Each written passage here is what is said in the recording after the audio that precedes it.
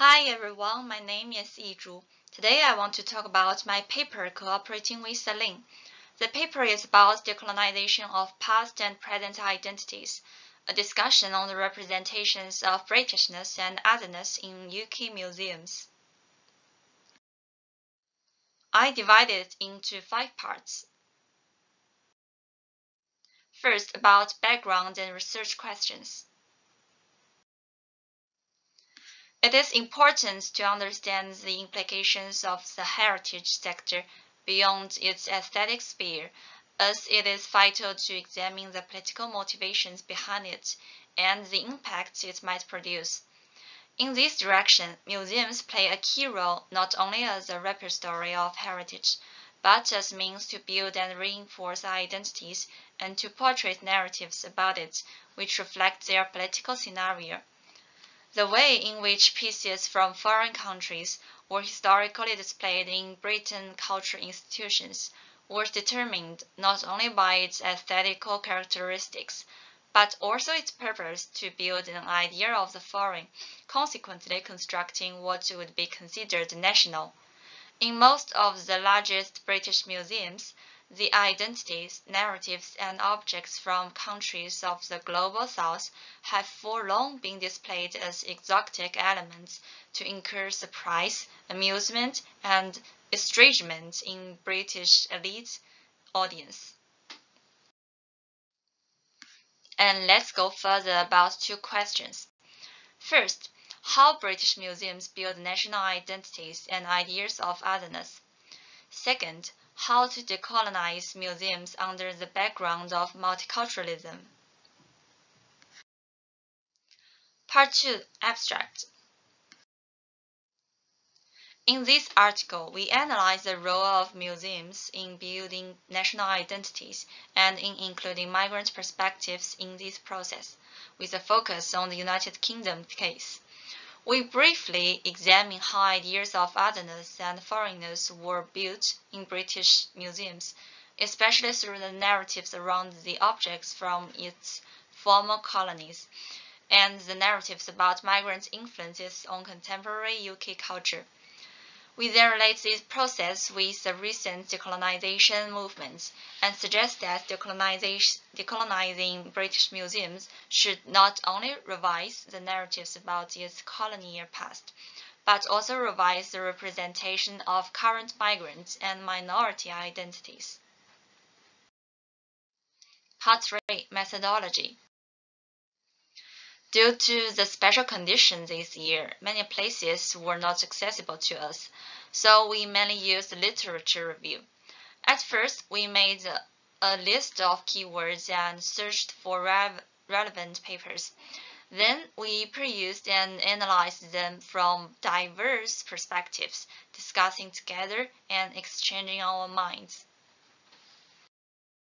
Part 4 Essentials it can be briefly divided into two parts according to the two questions. First, how British museums build national identities and ideas of otherness. Let's see the evolution of the role of museums in building British nationality. In the beginning, there are only a few elite private collections using rising in the UK, which only served for the upper class. Later, shifts towards open public free museums emerged, so that objects could, could be not merely locked away, but observed and studied by the general public. Museums at that time, the post the post-war period, started to represent broader voices beyond the elite, such as workers, migrants, and communities. But meanwhile, they constructed a collective memory in line with the leading power groups, with exhibitions consisting mostly of objects of the upper class. Given that, rather than simply collecting and preserving memory, museums were mainly selecting memory. In the late 90s, ethnography in museums emerged describing material culture of global south nations regarded as primitive. The government constantly underlined the post-glories to reinforce the British identity, with art crafts and objects from this colonization period often exhibited without adequate interpretation from the perspective of their original context, thus hindering a full understanding of their actual meaning and potentials. Nevertheless, in 1957, the British Museum first recording and exhibiting oral narratives came out, appealing more attention to migrant heritage. With this growing working class of British and migrant workers in post-war UK, many museums around the UK started to give more space for folk culture and the lives and aspirations of other social classes. Within this process, migrant heritage started to receive more attention in museums and cultural centers, with local exhibitions addressing migrant cultures in the 1970s and 1980s. Museums also started to be seen as a place to learn about culture curiosities and scientific topics, attracting a more varied audience. The selection criteria started to include more plural narratives and portraits of individuals and communities. Then, while this process still lacked a connection between migrants and historical objects of their places of origin, with the influence of multiculturalism and migrants' diversity in, on UK contemporary identity, a kind of creative interactive approach appeared, employing digital technologies to create an engaging experience with the public, allowing their own knowledge system to be constructed and renewed as proactive learners rather than passive recipients. Following this line, several museums in Britain prom promote initiatives related to migrant identities, ranging from exhibitions to workshops, from face-to-face -face activities to online interactions. And let's move on to another question. How to decolonize museums under the background of multiculturalism? Opinions on the influence of multiculturalism on British identity varied. Someone believes that it could stimulate ethnic and cultural fragmentations that erode the common foundation of the national identity, while others claim that multiculturalism can actually be compatible with the construction of a national identity, as it can avoid contentions that could emerge from forced assimilation of minority groups allowing the preservation and development minorities' ethnic and cultural conventions. Despite policy efforts to create a common national identity built by multiple cultures, many groups in Britain are still subjected to discrimination in political, economic, ethnic, and social terms.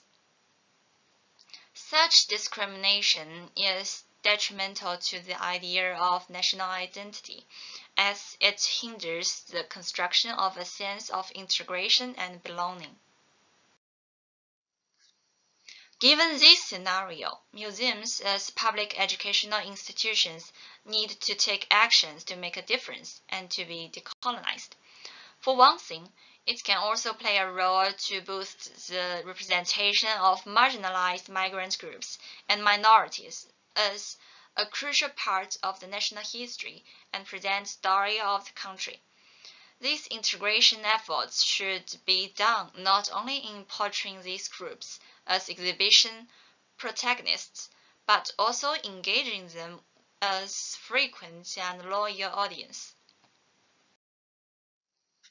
such as to access museums more easily from marginalized areas like enhancing public transportations and holding longer hours exhibitions for people who leave work late, creating friendly environments for children, and sharing information with an accessible vocabulary and format, and so on.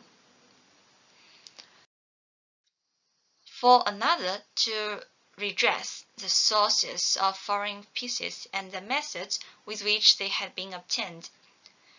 And establish dialogues and agreements with the countries from which these pieces have been taken, ranging from repatriation, co-exhibition to 3D repatriation.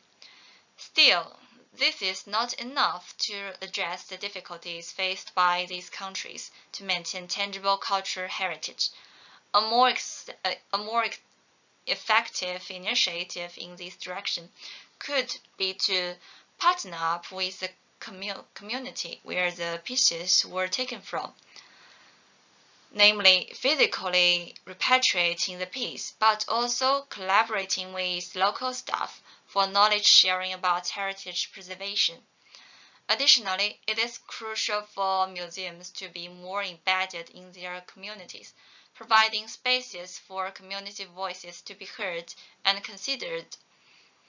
Besides, attention should be paid to the use of the word heritage and the word culture, as heritage is often associated with the past and therefore might resonate to audience as a matter of previous generations, whereas it is an effort that concerns audience nowadays too.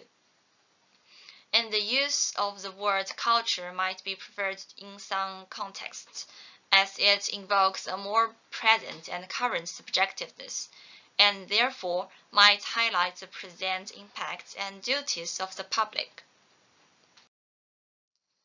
Finally, conclusion. Decolonizing museums requires all future generations' efforts and engage with minority groups related to these countries more proactively, to go beyond the tangible sphere of art crafts to, and embracing the intangible dimension of narratives from communities creating this art. And that's all. Thank you.